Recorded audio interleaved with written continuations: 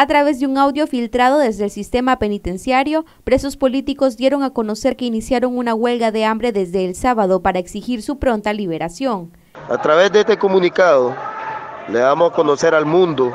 entero y en especial a los nicaragüenses que desde el día de hoy nosotros los reos comunes, los reos políticos,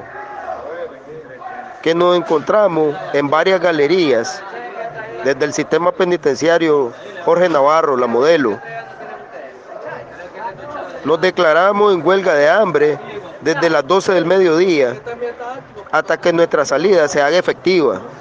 Y le decimos al resto de nuestros hermanos que también se encuentran en otras celdas, en otras galerías, que se nos unan.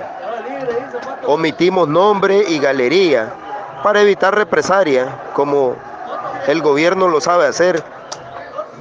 el abogado Julio Montenegro del Grupo de Trabajo de Defensores del Pueblo informó que los presos políticos están haciendo un llamado a la Cruz Roja Internacional y al Nuncio a que se pronuncien para su pronta liberación. Ellos han solicitado incluso los buenos oficios de la Cruz Roja Internacional y sobre todo pues hicieron énfasis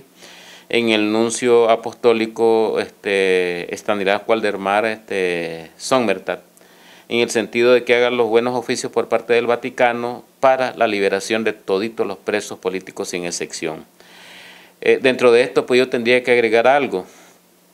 y es que tiene que ver que hasta el momento pues se manejaba que habían 65, 67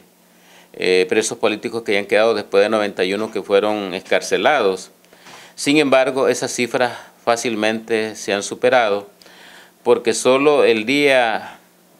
sábado, eh, a tempranas horas, entre 6 y 7 de la mañana, hemos recibido nosotros denuncia, al menos de manera digital, de cuatro familias que sus seres queridos fueron detenidos de manera ilegal.